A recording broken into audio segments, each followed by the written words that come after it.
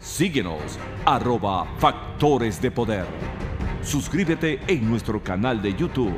Activa las notificaciones y mantente informado. Somos tu mejor opción en cauchos nacionales e importados, rines, amortiguadores y balanceo para todo tipo de vehículos. Contamos con el mejor puente de alineación con la mejor tecnología de todo el país. Síguenos por arroba cauchera Fran Luis. Fran Luis, los más duros en cauchos.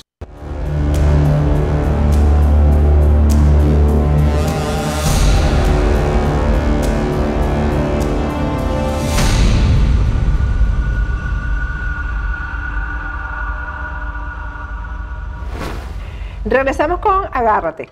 Si tienes una empresa aquí en Estados Unidos y no consigues personal calificado, yo te recomiendo que consultes con Raúl Sebasco. En pantallas tienes el número de teléfono de WhatsApp de Raúl Sebasco. Él ha logrado a miles de empleadores durante más de 25 años a conseguir personal eh, profesional a través de la certificación laboral, que es un programa federal que te permite buscar fuera de los Estados Unidos al personal calificado que no consigues en el mercado laboral local. Tu negocio va a ganar un gran empleado y el postulante va a obtener la oportunidad de conseguir un trabajo estable en los Estados Unidos que lo haga acceder muy rápido a una residencia permanente, que lo va a favorecer no solamente a él, sino a todo su grupo familiar. Bueno, en esta parte del programa, ya terminando la semana, vamos a hablar de dos cosas muy importantes en este momento, estrategia y liderazgo. Conmigo se encuentra Rafael Nieves, ustedes lo han visto en oportunidades anteriores aquí en el programa. Gracias, Rafael. Gracias, por estar aquí nuevamente conmigo. Bueno, hoy más que nunca, eh, esas dos palabras, estrategia y liderazgo, están jugando un papel muy importante. No, no vamos a hablar ni siquiera nada más de Venezuela nada más, sino en el mundo entero. Eh, Rafael, esto de la estrategia y el liderazgo, ¿cómo se combina eh, el líder y la estrategia. ¿Puede existir un líder que no tenga una estrategia? Bueno, en principio, eh, eh, eso funciona como una ecuación. Es decir, un líder necesita una estrategia para llegar al fin que persigue. Pero esas estrategias, cuando hablamos del de, origen de la palabra, se refiere a estratego, que es el arte de un general, de un militar. Y cuando hablamos de estrategia también pensamos que hay recursos mínimos para alcanzar ese objetivo y además de eso, para hacerlo aún más difícil, tienes unos oponentes. Estamos hablando de un territorio que en el mundo de los negocios nosotros dictamos cursos que se refieren al tema de estrategia y liderazgo para los negocios. Pero eso se aplica en todo, desde el amor hasta la guerra total. Es decir, todo el tiempo las personas ejecutan estrategias en su vida. ¿Qué pasa con un liderazgo político sin estrategia, sin una visión a largo plazo? Que en ese, vamos a decir... El liderazgo inmediatista. En esa batalla, en ese mercado, como queramos llamarlo, tú vas a tener un opositor y el programa de hoy, como trata de estrategia, vamos a citar a, a Sun Tzu, que es uno de los gurúes históricos y él dice, el que mejor vence a su adversario o enemigo es aquel que triunfa antes de que las amenazas de éste se ejecuten. Entonces, una vez que ese general aplica esta, este principio, puede ir a la batalla, pero no antes. Es decir, tiene un grado de anticipación tal que él decide cuándo ir a la batalla y cómo ir a la batalla. Y por supuesto eso es una estrategia. si, yo, si yo llevo esto a lo que estamos viviendo en Venezuela, si, si existen líderes que tienen eh, el anticipo de lo que el enemigo está haciendo, es el, es el liderazgo de oposición, porque el régimen, primero que reiteradamente ha actuado de la misma manera durante 20 años. Para empezar. Y la oposición también. Y la, exacto. Entonces, por ejemplo, en este, en este momento que ayer estuvimos debatiendo durante todo el programa el tema del, llamado a elecciones, ya sabemos cómo actúa el régimen chavista con elecciones. Ya sabemos eh, que termina ganándolas a través de un montón de trampas, tramoyas, etcétera, etcétera. ¿Por qué si ya, eh, por decirlo de alguna manera coloquial, el juego está avisado? ¿Por qué no hay una estrategia distinta del lado de la oposición? Claro. Por eso volvemos a este principio. El gobierno no es que sea un experto estratega, A veces las cosas son por inercia o porque tiene un coaching atrás, ¿verdad? Que le dice cómo jugar con el tiempo, cosa que Patricia le ha tocado en este programa Pero con anticipación. Y ese, vamos a decirlo así, ese tanque de pensamiento que tienen las dos partes, yo siento que en el lado de la oposición tienes un tanque de pensamiento superior al del gobierno, porque tienes el tanque de pensamiento de todos los líderes de opinión, compañeros de otros partidos, la experiencia histórica de 20 años de cómo procede el gobierno o el desgobierno o el régimen, como queramos llamarlo, de, yo lo sigo llamando de Chávez. Pero es que eso se puede escribir un libro de, una Entonces, guía, pues, de si- cómo hacer las cosas. Si la oposición tiene ya, digamos, cómo funciona esa organización, debería tener la movilidad para cambiar Claro. eso. Y en este caso específico, lo que está ocurriendo en este momento, pareciera que la oposición está cambiando, pero por un curso que le está dictando el gobierno. Es decir, en la estrategia también hay un principio que es que el mejor estratega funciona como el agua. ¿Y, y- y cómo circula el agua? Bueno, por los valles. Y si el estratega que tiene, digamos, esa anticipación sabe cómo conducir esas aguas, puede llevar, a lo- en el caso del, del régimen, puede llevar a, a la oposición a un desenlace que el mismo gobierno está preparando. La oposición debería hacer un juego similar, pero en contrario. Entonces, si el gobierno Eh, yo- yo traza la estrategia y la oposición la sigue, Ajá. entonces, ¿quién tiene el mando de esa batalla? El gobierno, el régimen, pero es que ese es el problema. El problema Claro. es que siempre los llevan al campo que ellos quieren. O sea, la oposición siempre termina en el campo de juego del régimen. Exacto. Y el Ahora- régimen con la pelota. Ahora, ¿cuál es el, el- el tema aquí? ¿Cómo de- hablando de estrategia pura, el gobierno ha mantenido por muchos años la ofensiva. Estamos hablando de estrictamente términos militares y de estrategia. Ha tenido la ofensiva. Y eh, recientemente estuvo a la defensiva. La oposición tuvo la ofensiva de una manera extraordinaria con el líder, porque creo que tiene las condiciones de líder, Sí. Juan Guaidó. Juan Guaidó tiene el capital. Por primera vez marcó la agenda la oposición. Exactamente, estuvo a la ofensiva.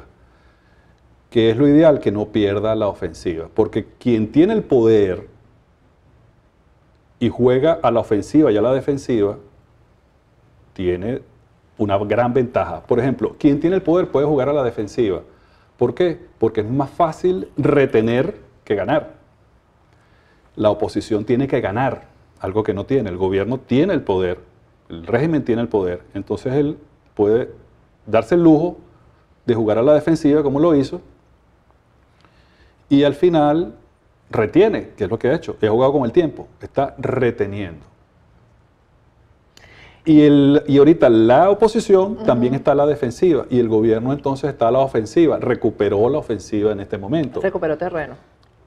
¿ok? Ganó tiempo. Entonces, cuando estamos en una estrategia de ese tipo, el tiempo le abona a la balanza de quien está a la defensiva y a la ofensiva. Ese tiempo jugó, movió la balanza a favor del régimen en este momento. Como siempre, porque esto es un cuento que ya una, una entonces, novela repetida. ¿qué es, lo que, qué es lo importante aquí? Que eh, la oposición tiene el tiempo para rectificar y para retomar lo que tenga que retomar. Sobre eso yo te tengo una pregunta.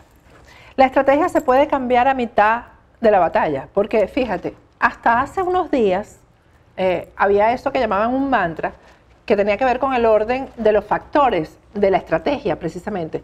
Eh, que, porque además la estrategia se abrió públicamente, la estrategia la definió públicamente eh, Juan Guaidó cuando dijo cese de la usurpación, gobierno de transición y elecciones libres, en ese orden, que todo el mundo se lo aprendió como un mantra. Entonces, de repente se dejó de hablar de esos tres puntos en ese orden y se comienza a hablar de elecciones nada más. Y no se habla de cese de la usurpación, no se habla de gobierno de transición, sino de elecciones nada más. Eso, fíjate, desde el punto de vista estratégico es muy grave. ¿Por Pero qué? ¿cómo afecta eso al liderazgo? Muchísimo, porque ¿qué, qué ocurre?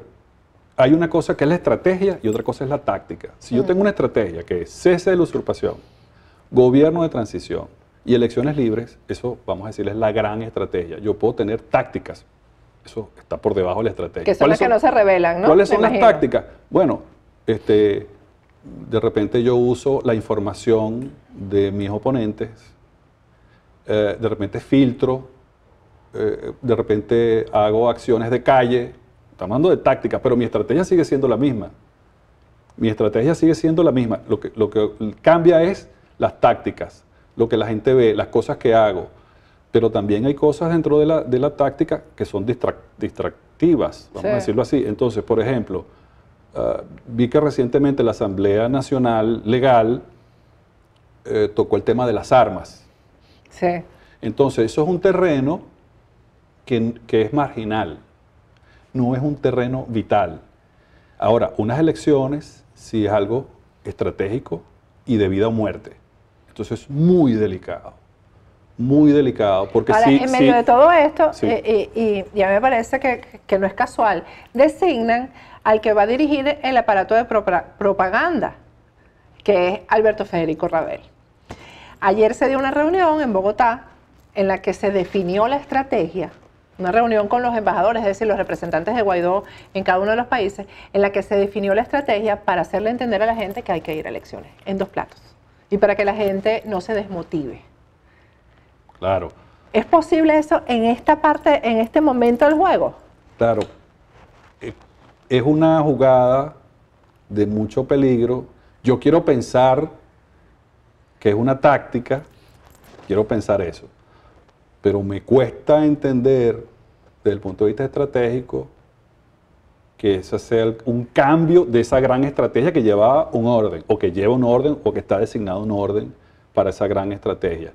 Entonces quiero pensar que es una táctica, que es una maniobra, que puede ser algo para eh, probar cómo reacciona mi contraparte, cómo reaccionan mis enemigos.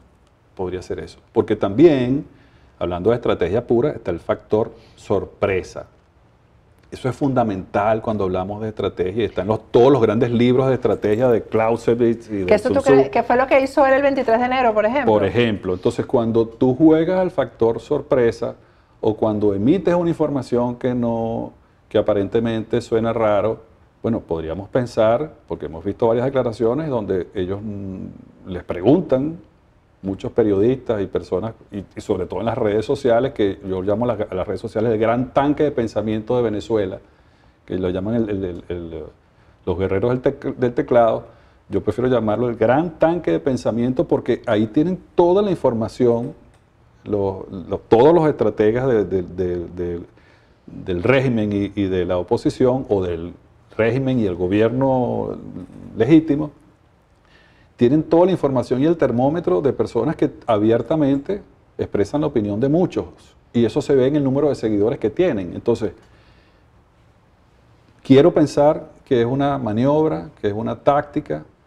Me cuesta pensar como estudioso de- del tema de estrategia, Sí. que sea un cambio de estrategia porque es peligrosísimo, un cambio de estrategia porque puedes perder el capital El político, el liderazgo y puedes sencillamente, como hablamos de esos terrenos, ¿verdad? De lo marginal y de lo vital, puedes llevar a un campo de batalla donde es, de- es vida o muerte. Si hablamos de elecciones de una vez, es un campo de batalla de vida o muerte. O sales vivo o sales muerto. Sí. Entonces, me parece que es temeraria eh, la actitud de hacer un cambio de estrategia. ¿Cómo hacerlo y cómo comunicar eso? Si fuese así, ¿Cómo comunicarlo exactamente? ¿cómo comunicarlo? ¿Cómo tú le dices a la gente? Bueno, Sí. miren, no, no, ahora vamos, hacemos un reset y vamos a elecciones. Y lo otro es, si tanta gente también con, con poder de análisis, etcétera, ha apoyado esa estrategia, la comunidad internacional, los principales países, entre ellos los Estados Unidos de Norteamérica, ha apuntalado esa estrategia y todos sus principales voceros, desde el presidente de los Estados Unidos, pasando por el secretario de Estado y llegando a, a la persona designada, el señor eh, Abrams. Abrams, eh, también hay que explicarle también a todos esos aliados ese cambio de estrategia. Eso, eso te iba a preguntar, porque estamos haciendo como el juego, como que es una guerra, y esto es una guerra, hay unos aliados que son importantes. Claro. ¿Cómo le cambias a los aliados? Porque además los aliados el día de ayer ya dejaron bien clara la posición. Eh, Pompeo la dejó clara, Abrams eh, ha dejado clara la posición. Es que no, no, no, ya va. Esto de elecciones sin el cese de la usurpación no existe. Entonces, ahora uno, ah, eh, lo, que se, lo que se siente y lo que se define es como una confrontación entre los, los aliados y el liderazgo de oposición. Claro, y, también aquí un, actor importantísimo que, es la, nación, la población, la gente. Eh, yo creo que la ciudadanía, como prefiero yo llamarlo, es muy importante eh, como actor de todo esto, porque si tú tienes un capital, que todas esas personas que a mí me gusta verlos como personas individuales, eh, esa persona que además está bajo una situación ex- extrema, ¿verdad? Que, que ha seguido una estrategia de una manera este, fiel, tenemos que pensar en cómo psicológicamente pueden sentirse ante un cambio de estrategia Exactamente. que ya sufrieron, o sea, cosas que ya sufrieron, porque mucha gente hemos depositado nuestro voto, hemos, este, vivido, acompañado, claro, entonces como que vuelvas a ver una película una y otra y otra vez, entonces siempre nos han dicho, yo me pongo en la posición de, de una persona porque este, yo soy un venezolano como cualquier venezolano y he sufrido eso. Entonces hablo como un venezolano que ha sufrido, que he ido a votar, que he ido a votar repetidamente, que inclusive a veces he votado por candidatos que me dijeron que eran de oposición y resulta que no lo eran. que no lo eran, Entonces cuando surge un líder que, que es inspirador, que resulta que se siente que es disruptivo, que puede cambiar todo el juego, bueno, entonces todos vamos a apoyarlo. Entonces eso, ese paso puede ser muy delicado, muy delicado. Gracias, Rafael. Muy amable, gracias. Gracias por, eh, eh, porque además estos son conceptos científicos, aquí vamos más allá del análisis político. Vamos a ir a un corte, pero primero quiero recordarte que bajes en tu teléfono inteligente la aplicación de Caloyero Tramonte. La aplicación es tu red. Baja la aplicación porque es mucho más fácil hacer la cita con Caloyero a través de la aplicación. Es más fácil acceder a todos esos productos maravillosos que utiliza Caloyero, pero además vas a acumular rewards de manera que depende de tu lealtad todos los servicios de Caloyero que son tan fabulosos te van a salir mucho más económicos. Vamos a un corte y al regreso viene eh, Andy Salandi. Vamos a hablar eh, eh, con Andy Salandi sobre el lenguaje corporal y qué es lo que transmiten los candidatos eh, españoles. Ya volvemos.